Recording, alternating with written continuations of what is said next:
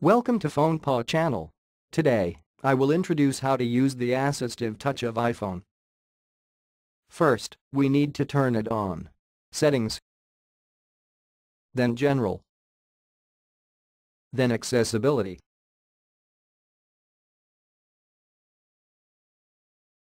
And you can see the assistive touch.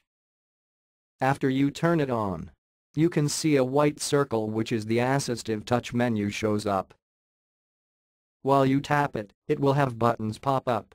You can edit these buttons in the Customize top-level menu. 8 buttons are the max. Add buttons or reduce them. You can move it all over the screen. Open Siri. Return home page. And so on. It even has secondary menu, control your iPhone without real buttons. In the beginning, the designer of Assistive Touch wanted to make iPhone much more easy to control for those people who was disabled that have to use iPhone with one hand. However, more and more users love to use this function. Assistive Touch can also be used with 3D Touch. Back to settings and set up the 3D Touch action. For example, the lock screen. Now, you can only touch screen to lock the screen.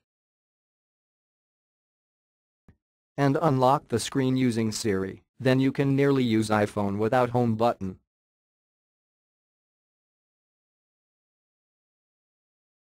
And, it's not the end. You can create gesture that you can tap the screen once, then Assistive Touch help you finish the gesture you set before. Like this, using 5-finger slide.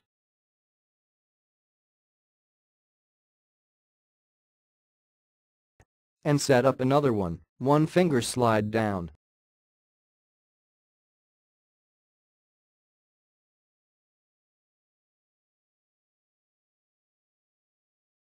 Add the gestures on the menu.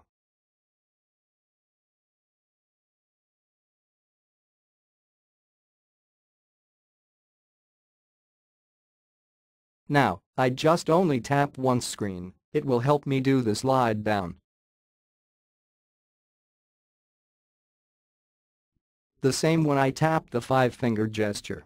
In some games or some apps, this function can make you more conveniently.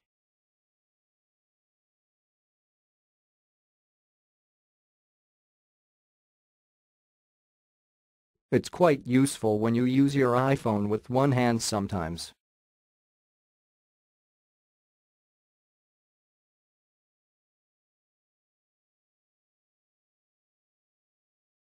So, that's all. If you want to know more about mobile tips, subscribe us or go to fonepaw.com.